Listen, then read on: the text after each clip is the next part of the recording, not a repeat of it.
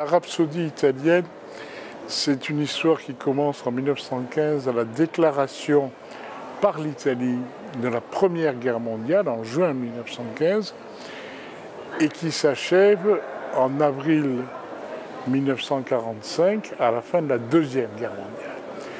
Autrement dit, c'est l'histoire de ces deux guerres, mais c'est surtout l'histoire du fascisme.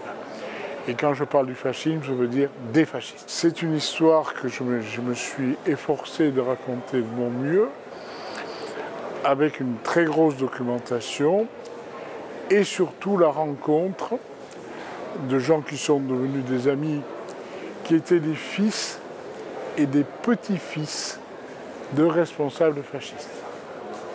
Donc ils m'ont raconté un peu quelle avait été leur vie, et c'est ça que je me suis euh, efforcé de rencontrer, de raconter, pardon, avec des personnages qui sont bien sûr, parce que c'est un roman, des personnages d'imagination, avec un héros principal qui est un officier italien, un jeune officier qui, qui va faire la Première Guerre mondiale, qui va à l'occasion de cette guerre rencontrer Mussolini, qui est à ce moment-là un sous-officier et encore même pas de l'armée italienne qu'il va rejoindre après la, victoire italienne et dont il va devenir le confident, euh, l'homme à tout faire et certainement l'ami. Et c'est l'histoire de cette fidélité.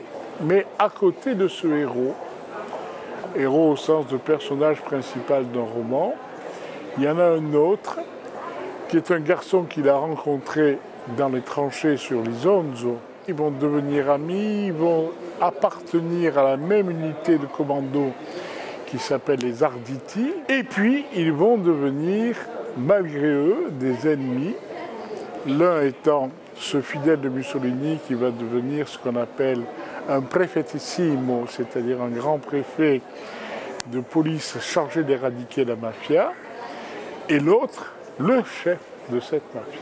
C'est une longue histoire qui s'étale sur une trentaine d'années. Je crois que c'est une histoire belle, c'est aussi une histoire tragique, c'est une histoire de fidélité. J'ai beaucoup travaillé, trois ans pour faire ce livre. J'espère qu'il est bien, je crois qu'il l'est, et je vous en souhaite à tous une bonne lecture.